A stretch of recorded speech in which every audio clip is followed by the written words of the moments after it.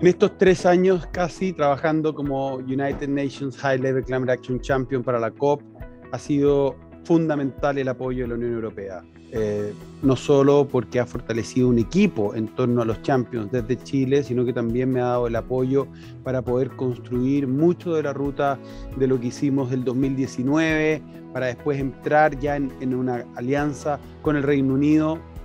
y de esa forma construir lo que ha sido las campañas Race to Zero, Race to Resilience, el Glasgow Financial Alliance for Net Zero, los 2030 Breakthroughs, pero sobre todo creo yo haber dado el apoyo para poder innovar dentro del proceso de las Naciones Unidas, algo muy complejo en sí mismo,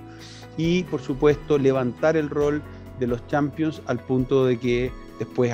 pudiéramos aprovechar el año adicional que nos dio el COVID. Y la Unión Europea ya ha estado disponible para aportar en esa extensión del periodo en que estábamos en presidencia y en el que me tocó seguir trabajando para entregar el bastón, la vara,